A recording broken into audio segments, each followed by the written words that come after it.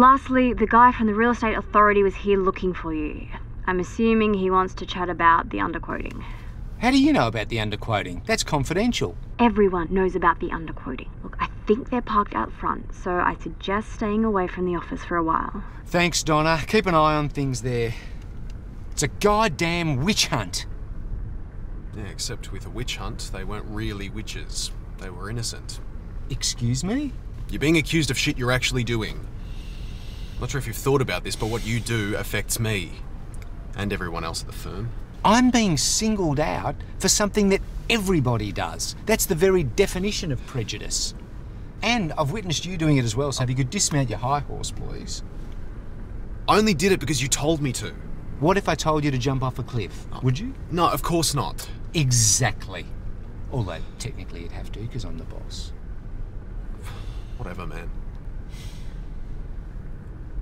Look, don't worry. I'm not going to let anything happen to the company. What's so funny? Ah, just some banter with a mate. He works for Ted Cross. It's kind of a friendly rivalry, you know?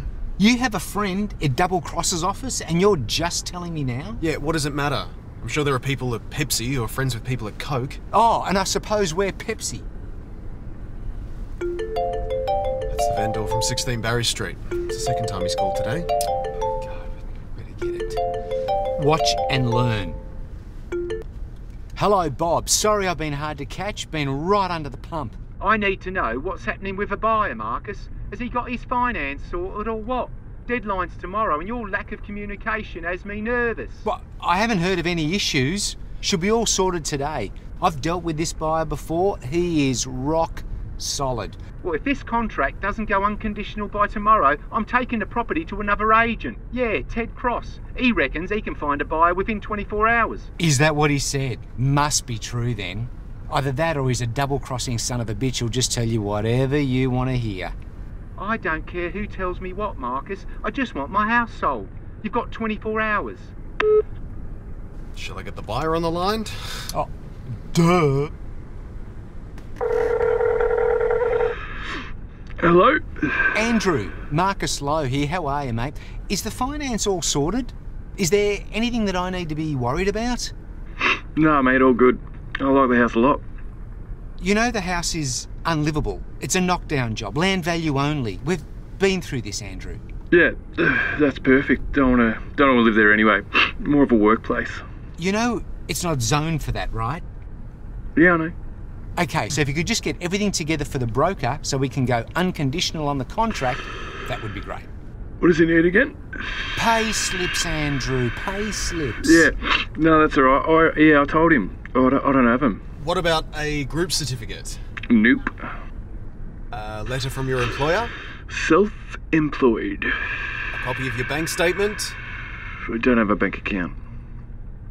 Okay, Andrew, leave it with us.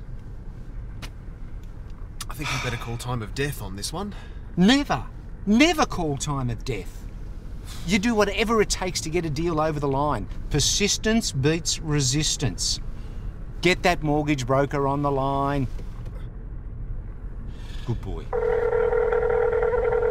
The fucking thing. Hello, Marcus. Mortgage broker to the stars. How's the finance going on Barry Street? Yeah, not well. Even the Bank of Namibia won't touch it. Oh, shit, it's that bad? That bank will finance anything. Mate, this guy you've sent me is a ghost. No paperwork that I can use to get him financed. Can't you knock up some pay slips for him? This isn't a Jason Bourne movie. Where'd you find this guy anyway? He's real vague about what he does and where he does it. I think it's all too hard. Uh-uh. I've already spent your kickback on the loan commission. What about the wife? She seemed like she had her head on her shoulders. Can't we put the loan in her name? It's actually not a bad idea. Are you on the ball, mate? Okay, you, you leave it with me. First leg of the uh, quad is about to jump. See ya.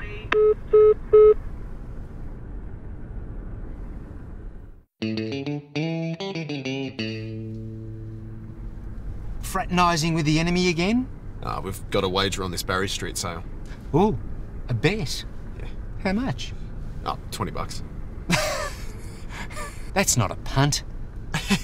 it is on my salary. Yeah, well, salaries are negotiable, aren't they? That got your attention, didn't it? Here's what you're going to do. You're going to tell your friend at Ted Cross's office that you want to raise the stake to $500. If he's as cocky as most Ted Cross employees, he'll accept. I can't spare 500 bucks. You won't need it. The sale is ours, guaranteed. So ripping off a mate 500 bucks is your version of a salary increase. He doesn't have to pay you if If if he occasionally gives us some intel on Ted Cross, who he's dealing with, what his techniques are, whether he can really find buyers within 24 hours, or if he's just talking out of his puckered, hairless, salon bleached arsehole. I'm not going to do that. Fair enough. Duck in and grab us a couple of coffees, will you?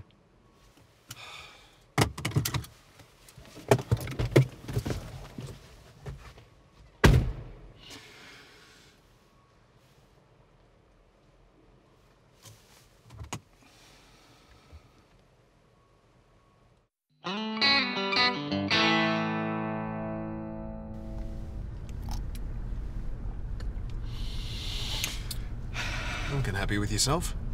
Maybe. Oh!